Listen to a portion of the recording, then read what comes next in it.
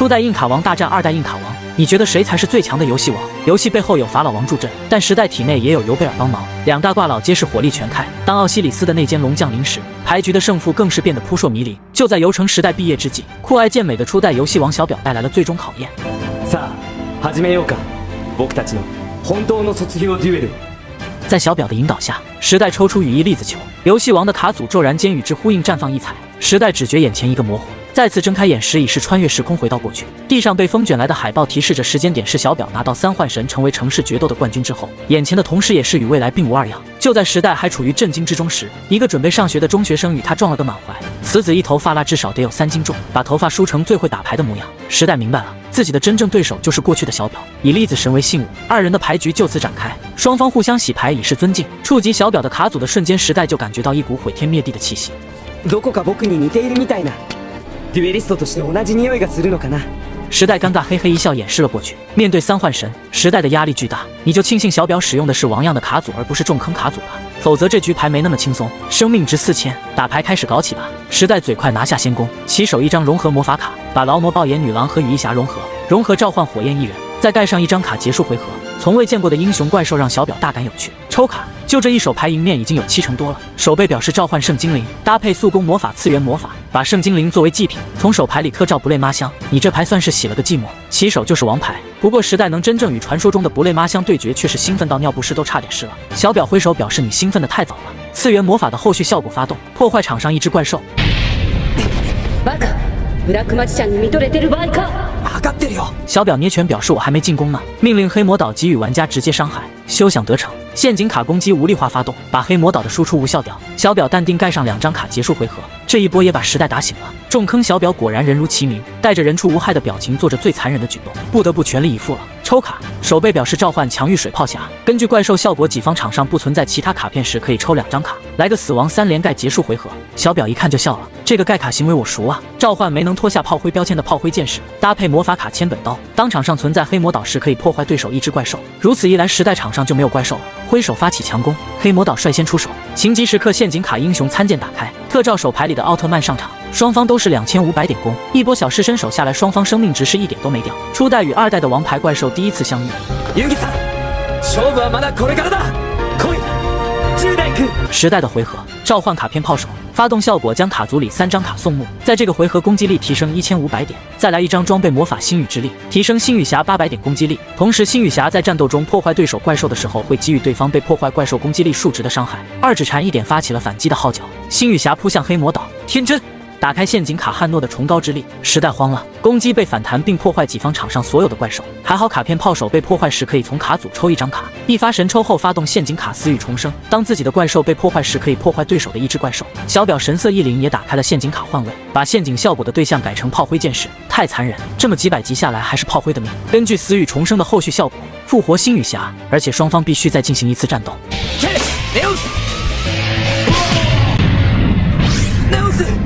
双方同归于尽，果然精彩。互相早就都猜到了对手的下一步行动。轮到小表的回合，召唤磁石战士阿尔法，对玩家直接发起攻击。磁空剑即将砍下之际，时代利用墓地里的死灵守卫的效果，将其除外，把攻击无效化。小表算是看明白了，对面那小子上个回合利用卡片炮手的效果，故意把死灵守卫放进墓地，目的就是为了这一刻。确实挺强的。时代的回合，攻击表示召唤闪电侠，挥手发起反击。磁石战士瞬息间被闪电击溃，小表率先掉血。抽卡，特召疾风的暗黑骑士盖亚。这个怪在手牌里只有这张卡时可以不用祭品特召，发起进攻。盖亚一枪捅了闪电侠，不划算呢。时代掉的血更多，压迫感瞬间就上来了。时代的回合，发动墓地里的死灵暗侠的效果，无需祭品特召手牌里的金刃侠，搭配装备魔法冲击弹射。此后金刃侠每破坏一只怪兽，都能将对手卡组一张卡送墓。中指一挥发起强攻，一拳导出击破疾风的暗黑骑士盖亚，小小伤害还不至于让小表伤筋动骨。面无表情的舍弃一张卡片，小表的回合来一张魔法卡天降宝闸，双方玩家将手牌抽到六张为止，接着特召棉花球，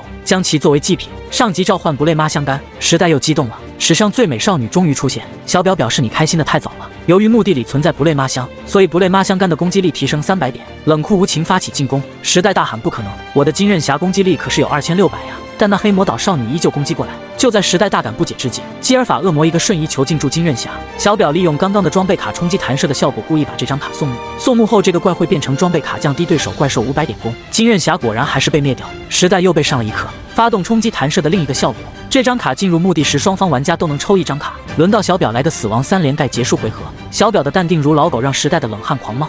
怯えている だが本当は違う僕には君の心がわかる君は今こそ失ったものを取り戻そうとしている失ったもの尤贝尔这句话让时代心中一颤。开局前，小表就跟他说过一样的话。三年的战斗早已让他失去了最重要的东西。想不通的时代与小表正好四目相对，双方相视一笑。牌局打着打着变得太过严肃。笑声过后，时代有些明白了， 他是游戏王中最具有悲剧色彩的王者。一路走来，如同孤胆英雄，身边基本都是反骨仔。历经磨难，让他的心态逐渐发生了变化。天真烂漫的时代不再笑了，除了想要打败对手之外，他基本感受不到打牌的乐趣。他明白了，这就是自己失去的最重要的东西。未来的小表让他进行这一场决斗，就是要让他重获初心，再次开心纯粹的打牌，全力以赴吧。骚年抽卡是羽翼粒子神，好家伙，你清一色的魔法卡是要天胡啊！先来一张永续魔法卡英雄协会，当双方玩家卡组上第一张如果是战士族怪兽的话，就能将那张卡加入手牌，否则就送进墓地。可惜抽到了岩石族的大地鼹鼠，无所谓，搭配另一张速攻魔法卡编码转换，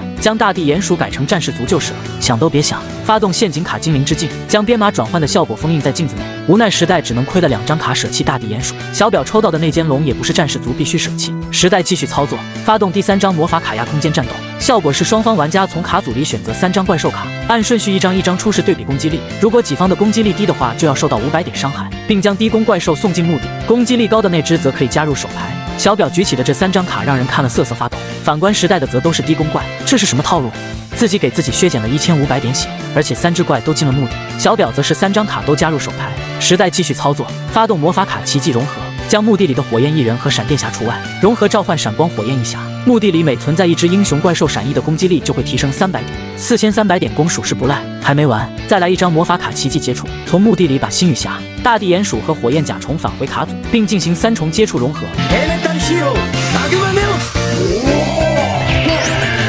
搭配场地魔法卡新宇宙，将熔岩星羽侠的攻击力提升五百点。接着是其自身效果，场上每存在一张卡攻击力还会提升四百点。 行け!マグマネオス!攻撃力4300と6300のモンスター。すごい。すごいよ。トラップ発動!マジックシリンダー!何笑晕了，不愧是重坑之王。一边赞赏对手的攻击力好强，挥手间就送出一张魔法桶，熔岩星羽侠的输出被反射了回去。千钧一发之际，时代赶紧来一张速攻魔法接触分离，通过解除融合状态来躲过这一波反攻。接着是闪翼的输出，这一波如果打中小表，就真的输了。それはどう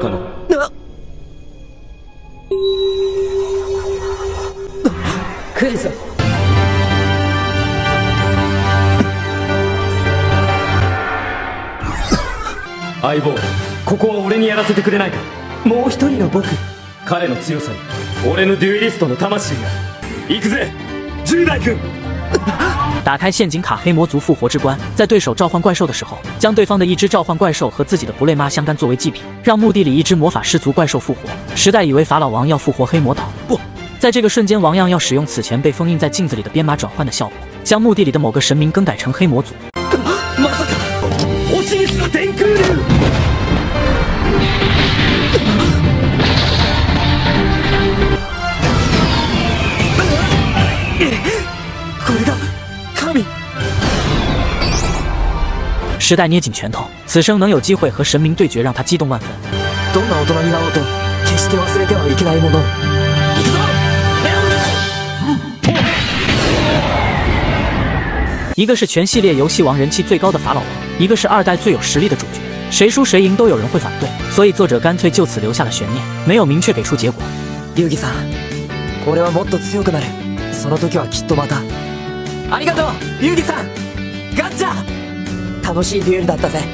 光看时代最后前半句的话是他输了，但是后半句又是他每次打赢时会说的口头禅。作者这个老六依旧给出了一个模糊不清的答案。最终，时代带着这只名叫法老王的猫与大德寺老师踏上了新的旅程，衷心希望时代未来能一直快乐下去。